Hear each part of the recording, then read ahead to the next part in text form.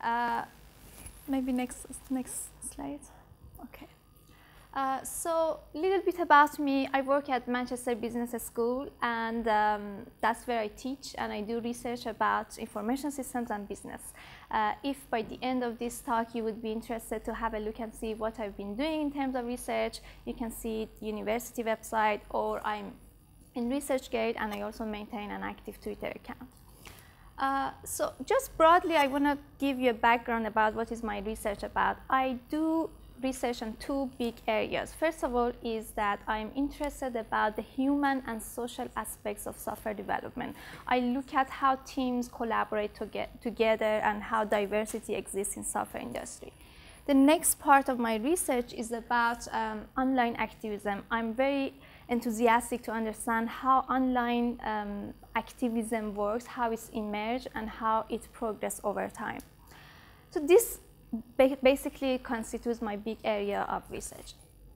Uh, uh, today's session, uh, I'm not going to really go further in detail about my research, but I'm going to uh, introduce a method called adaptive comparative causal mapping that emerged through my research um, about software development teams.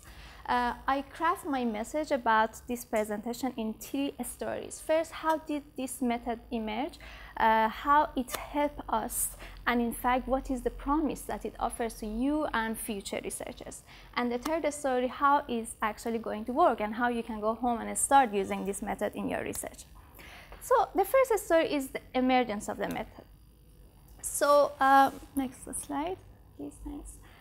Have you ever been interested in understanding the similarities and differences between similar phenomena, things that they look the same, but they might have some differences or also maybe some uh, similarities? Well, actually, especially when about things like how people think about the same phenomena or how they experience the same thing the um, Andrew before me, he talked about the experiences that people have about the city. For example, like how different experiences of students or how similar they could be, for example, to the lectures and so on. Well, actually, I was. I used to work in um, a number of software projects and my work was basically about sitting in different challenging teams and trying to listen to different stakeholders and it was very fascinating for me coming to this observation that um, we could see that different stakeholders, they had different perceptions about what is the problem that is emerging or is unfolding in that uh, project.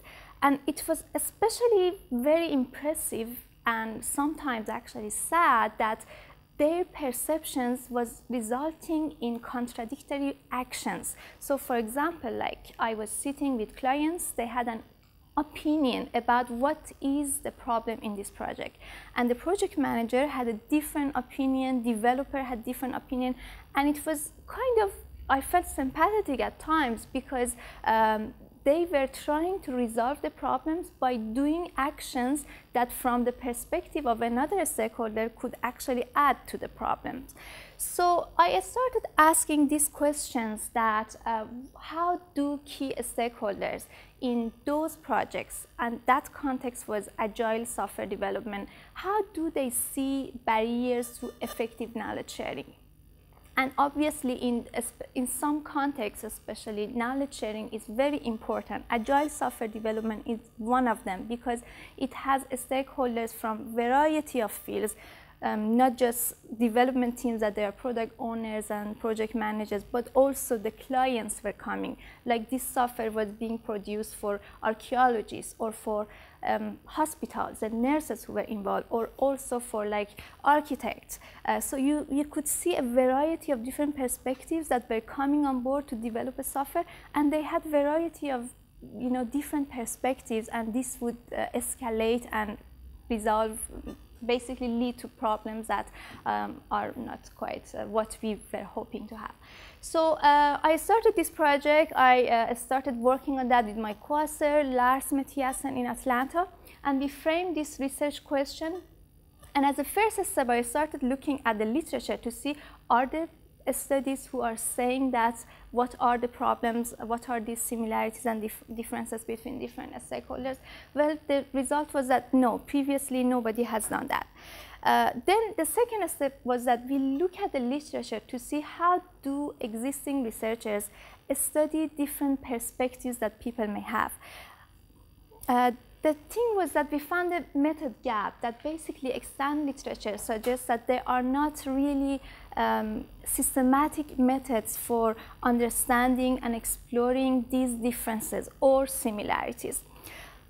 Uh, so one of the, during this literature review, I came up with this, um, found this method, comparative causal mapping, that sounded actually very promising because it was giving some um, interesting insights about maps, constructs, uh, maybe we can interview with different people who are involved in that project and trying to reveal their mindset, their cognitive thinking by drawing the uh, constructs of their maps and then trying to compare these maps together, which sound actually good. Uh, but uh, remember, there was a limited understanding of the topic, which was agile software development. Plus, there was uh, there was also uh, a problem with the gap. In fact, methodological discussions on CCM were very rare. So the paper that, were talk, that was talking about CCM was, had interesting ideas, but there was no methodological guidelines about how these measures that the CCM was saying should be measured, or what are the exact procedures for that. And also, there were not quite a lot of examples to see how different researchers has done.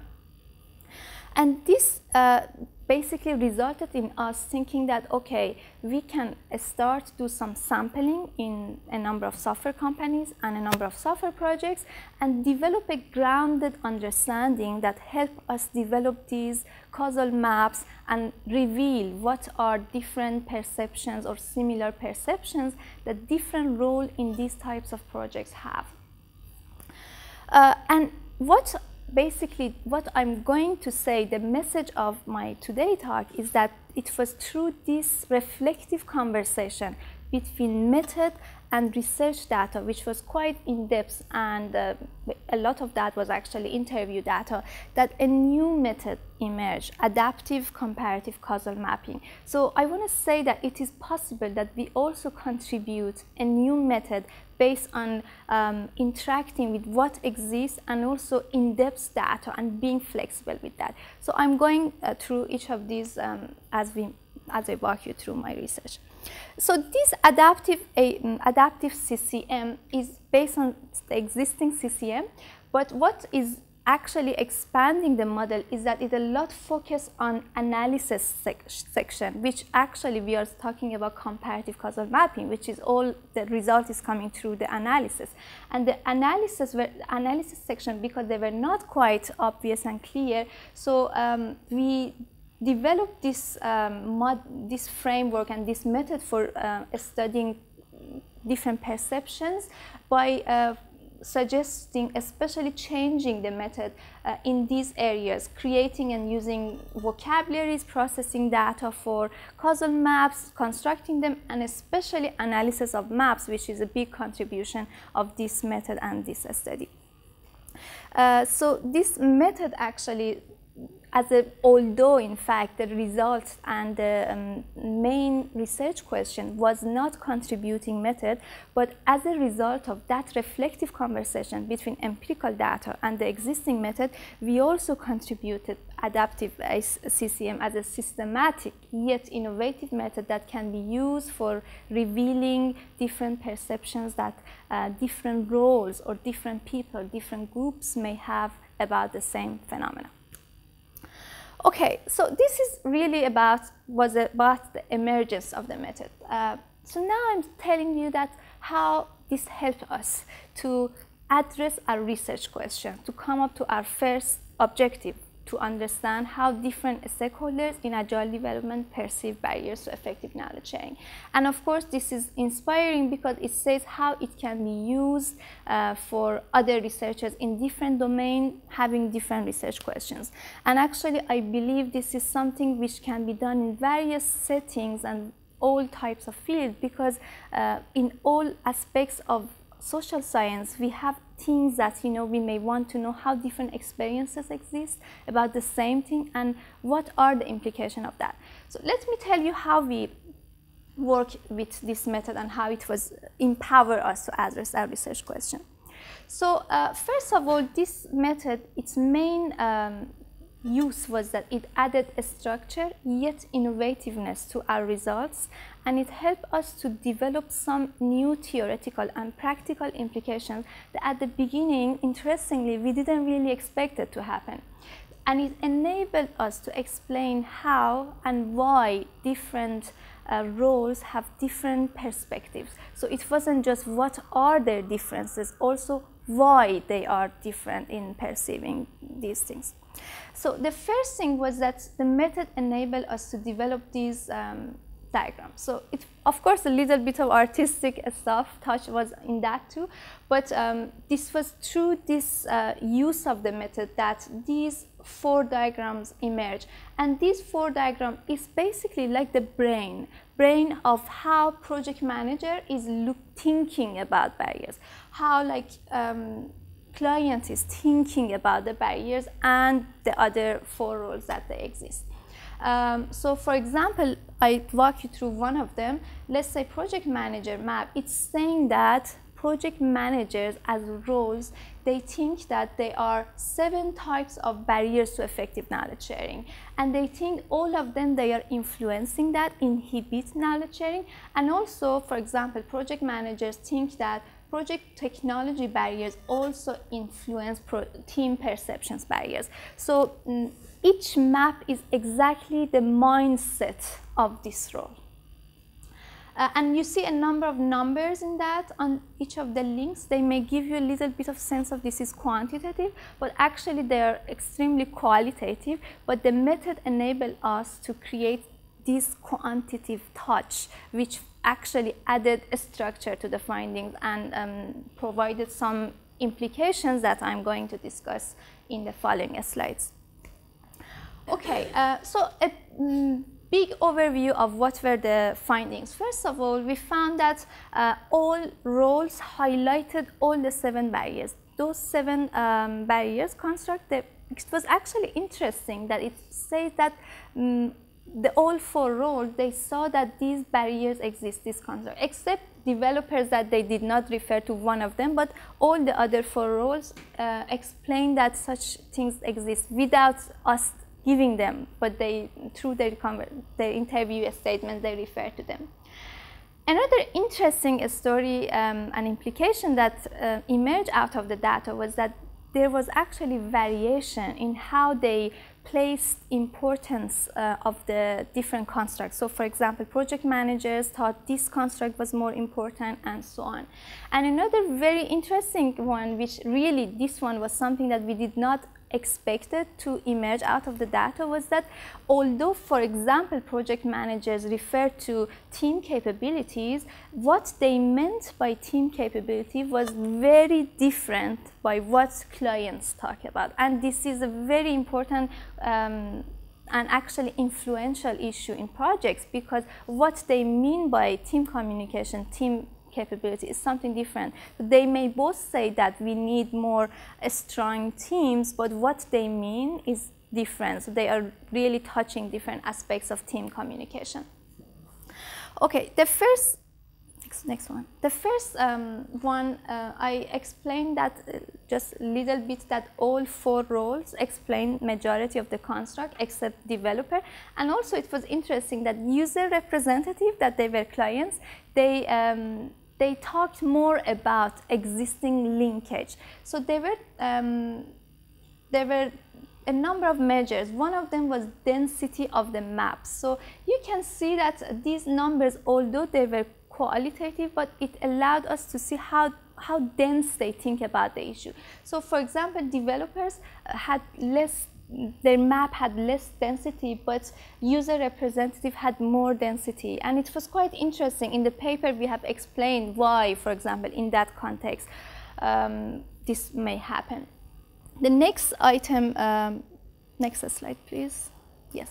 Next one was that um, there was variations in how roles emphasize barriers. So you remember we had at the center effective knowledge sharing and we had seven constructs around that. So for example, project managers, they put, they say that the impact of project setting barriers is the worst thing, basically, that can inhibit effective knowledge sharing more than anything else.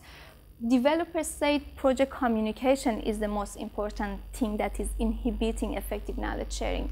Testers, project organization, and team capabilities barriers by um, user representative. And we have referred to the literature, for example, in explaining why this is happening, we reviewed the literature to basically um, argue for that, which is really beyond the discussion of this presentation. I'm going mainly to focus on the method. But um, this was quite interesting because it allowed us to see what means to one group is different to what means to other group. Next one is please. Yeah, and then the, uh, one of the last implications was that there was also variation in how each role uh, conceptualized and thought about different uh, barrier constructs. And it was quite um, important issue. For example, these team capabilities that I referred to that earlier. Um, for example, it was interesting that the user representatives were talking about the social skills of developers and they wanted to see more of it. They thought if the fact that they may not have that, it's not good for the project. But developers, they were saying, yes, they, their team capabilities, you know, they need some improvement, but they never talk about that. They said we will need more better technical skills. And although the interviewer was uh, confronting them with some of the things that user representative had said, they said, no, no, it was all about the technical skills. So that was very interesting. Or like, um, for example, project communication bar barriers. Developers were thinking that project communication is a barrier to effective knowledge sharing, but they were thinking that it is a barrier because the users do not check these things with the end user of the product properly. But user representative, we were, they were saying that it's because the developers do not engage actively uh, with uh, end users and this is happening. So you see they all say the same thing but actually what they say is different and it means the actions that should be taken to uh, resolve those problems are also should be different, something which often in projects we overlook please next one. Uh, for example, I give you like uh, just two quotes, one from project managers that you see the project manager is putting this focus on project setting. When you have a budget that is small, every single meeting you go to is costing the project. So you have to balance how much time you spend talking to people versus how much time you spend getting things done project managers were really involved in making sure that uh, the project schedule is met. So they were thinking a lot about this project setting. But for example, when we come to um, user representative, they were seeing that they were saying team capability is an important issue. They were saying if you ask end users, in that case they were nurses, uh, they wouldn't give you any straight answer because they haven't any uh, they don't have any knowledge of software development and they will probably say yes that's right. And afterwards when you do the testing they say oh that's not quite what we want. So they were saying uh, through the rest of the interview that uh, it is the responsibility of the developers to make sure that um, they they engage end users so that uh, they do not say yes at the beginning and at the end they just change their mind please. Okay so basically our uh, idea was to come up, address the research question and say that how these um, barriers were seen differently. But also through this method, we could go beyond what was our first intention by aggregating all the four um, maps. Uh, the result was coming up with a new theoretical model, theorizing please next. Theorizing on uh, what um, was, uh, what are the barriers to effective knowledge sharing, because also that was not such a thing. So as a result, for example, in this case, our paper uh, developed this conceptual model that conceptualized seven constructs of knowledge sharing barriers with 37 knowledge sharing specific barriers that can be used both in qualitative and quantitative research by you know, developing measurements based, of, based on each of these 37 barriers. Next one. Okay, so this was really uh, about um, how this helped us to do um, and develop something new and how it can be also helpful for other researchers in different fields, um, basically those who are interested to understand similarities and differences. Okay, so now I'm talking about how does it work, how you can use it practically. So uh, in the earlier slide, I put this um, figure that uh, the ACCM is primarily focusing on the analysis, which is really the main part of this sort of uh, methods. Um, so I'm walking you through each of the steps. The first one is creating and using a standard vocabularies. It starts by content analysis, and you may be familiar with content analysis. It's reading all the interview transcripts. Actually, it's interesting. It can be interview, it can be secondary data based on the topic that you are studying. Um, grouping frequently mentioned words together, developing an initial list of codes, Next item would be, um, actually this can happen in an iterative manner to examine the emerging codes against the existing uh, frameworks that exist in the literature without necessarily expecting that um, these um, codes that they are emerged out of our data is going to exactly um, map those things. Being flexible but also trying to do not uh, reinvent the wheel from the beginning. And then next one, again, reading all the transcripts, coding them based on the um, code scheme that was emerged in the previous one. Okay, the next uh, step would be processing data for uh, causal maps. Um, so we have this code, um, codes, uh, coding scheme, and also the interview statement that they are coded. Next item would be to read all the interview statements and try to identify the cause and effect linkage. So for example, looking for items that when interviewee is referring to, um, for example, team capability was a, was a problem. Because of this, we did not have time to, or we did not really have time to spend on effective knowledge sharing. And then after these items, if then or because and so is identified, next uh, step would be to categorize the finding. And it's very important. If you remember these constructs of seven constructs, um, it's important to put our um, barriers that they are identify or any item that you are interested to study into categories and it's very good to put it in a theorized way. So for example, in this case, we use Leavitt model, which, talk, which talks about organizational change. So we use, um, we try to look at our code and put those barriers that had emerged into barrier constructs that reflect some existing theory that exists. And then next item, it comes to the more visual stuff, is to construct the causal maps. So for example, we had identified the cause and mm, cause and effect relationship. Next item would be to link each of these cause that we had identified to the higher order categories that was identified in the previous step and then put a link between these two in a more visual way. We did a lot of trial to make it very user friendly so when someone look at our map they like it. It's, we thought it should be beautiful and think it matters a lot. And for example, like one example is one of the um, quotes by um, project manager was I think different cultures are were challenging for knowledge sharing. We had agile culture that might be different with others and universities are more bureaucratic and not agile. So for example, in this case, um, next one please, uh, you see different cultures was coded as a cause challenging for effective knowledge sharing was the effect that what we were looking for. So for example, we said agile versus non-agile cultures is a type of a cause that can inhibit knowledge sharing. And previously, in the previous step, it was categorized under, under project setting barriers. So next, please. Uh, so when we draw the causal maps, we established a link from project setting to effective knowledge sharing.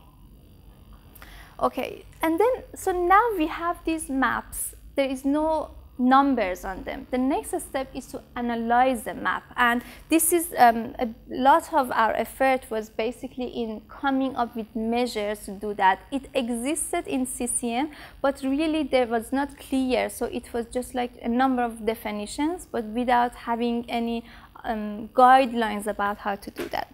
So for example, but anyhow, before doing the analysis, the first step was to showing these maps that they, we had constructed to the people who took part in the interviews to make sure that they're credible, they're trustworthy. Uh, so the second step was to analyze the structure of the maps and that's where we uh, identified um, measures at the level of map, construct and between construct. Uh, for the level of map there were two measures of density and comprehensiveness, for construct centrality and for between construct reachability. And finally the last step was to um, compare these maps again at these levels of map, construct, and between constructs. Okay, I walk you through that, don't worry. We go through each by one.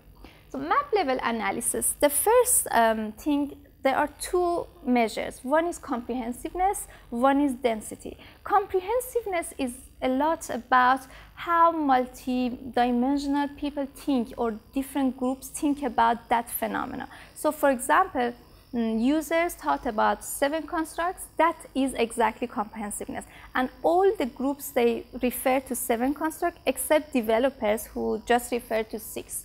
Um, and comprehensiveness, if um, something, uh, a map is comprehensive, it means that uh, the people who are, we are constructing the causal map for them, they have a good understand, not exactly good understanding, but they see different dimensions of that phenomenon. And we have something called density. Density is about, um, so we have seven constructs and we have a number of links. Density, you, you may guess exactly, like it's an indicator that is calculated by dividing the number of the links to the number of constructs that they exist. Um, and high density maps, they mean that the people in that context know that, uh, that phenomenon well. So for example, the more they refer to different um, links, which would be more high density, means that they are aware of the relationship. And actually that might explain why user representatives refer to more, in this case, refer to more relationships compared to others because effective knowledge sharing is something that is part, especially users that their clients can suffer from that. So they tended to talk about more problems that they may exist and inhibit effective knowledge sharing. Next, please. So this was the level of the map. So for example, the, for the project manager, you see comprehensiveness was seven, and density was the number of the labs, um, the linkage that exists divided by um, eight. But I actually we put this one too, but um, that was basically 3.38.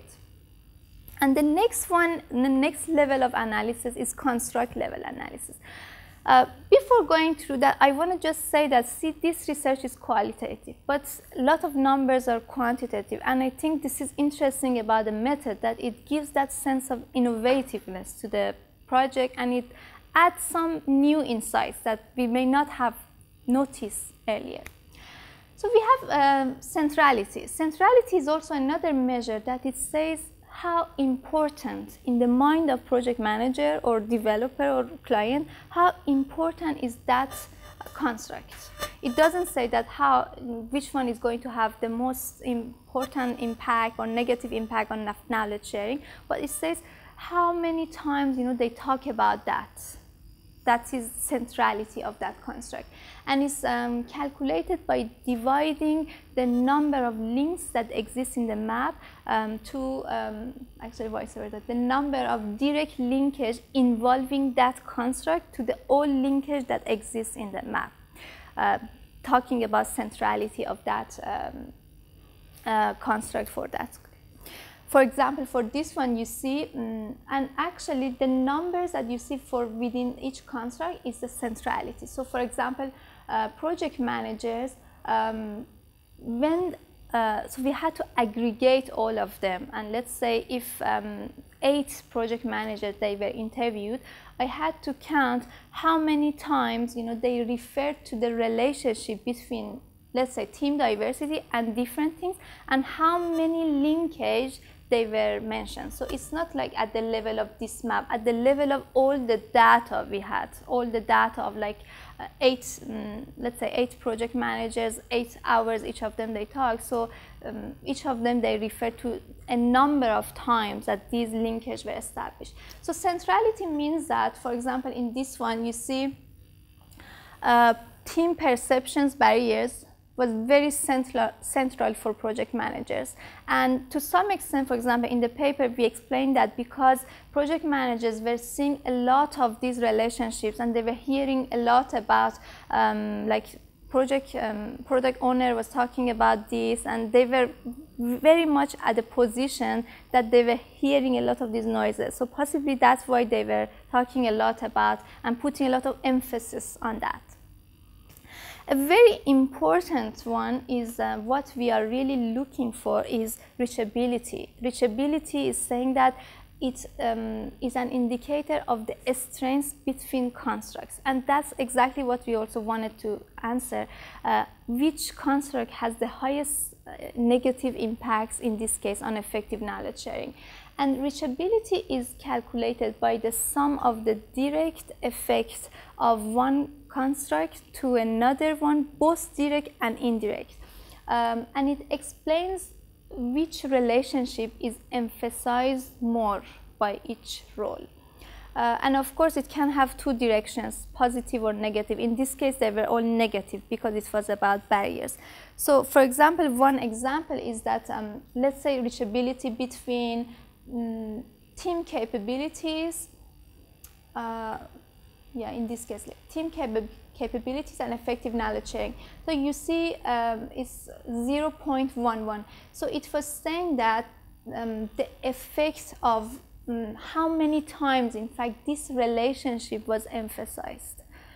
And not just this relationship. So for example, in terms of project technology, you would see this relationship, it's not that much but it sounds like project technology is influencing effective knowledge sharing also by influencing team perceptions. So in order to identify what is the relationship, what is the reachability between project technology and effective knowledge sharing, we had to calculate the sum of both these and those relationships. And these were happening at the level of all the data we had for that role. So I mean, I can't say that, for, I can't sum up in front of you because we had to go back to all the data that we had.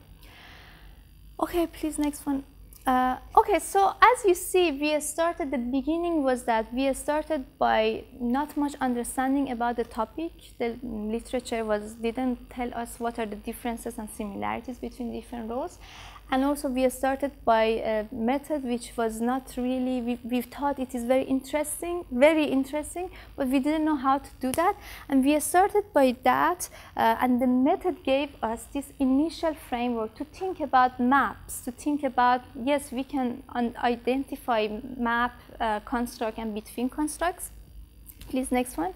But because there were not any of them, we had to engage in a grounded understanding and a reflective conversation between empirical data and um, the method that we already had.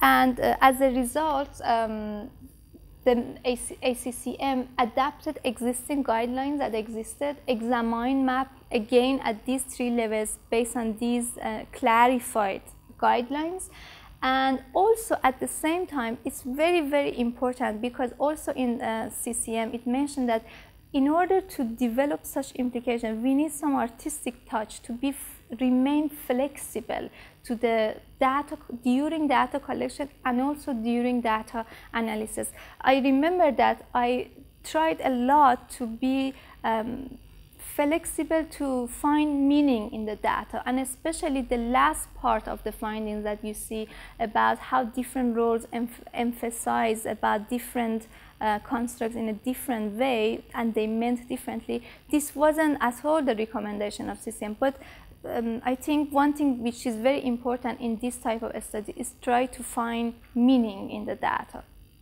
As more and it's interesting that always even little bit of data nowadays there are lots of focus on big data but I found that in little data there are lots of meaning if we look for that. Uh, so yeah, as you see, this is uh, really the method that was um, used in this uh, research. And please, next one. And the application of that, again, it added both structure and innovativeness to our uh, research to provide these um, findings. Next one, please. And the implications of different things that we were from the beginning interested and also going beyond to theorize and come up with a theoretical framework on how what are the barriers to effective knowledge sharing. Well, thank you very much. I hope it was useful for you. If you had mm, any question, you maybe you would like to go back to our study and have a look. I hope it would be useful, or you can always send me an email, uh, and I'm open to your questions. Thank, you. Thanks.